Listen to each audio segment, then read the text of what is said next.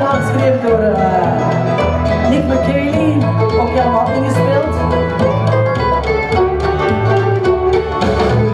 Versie van uh,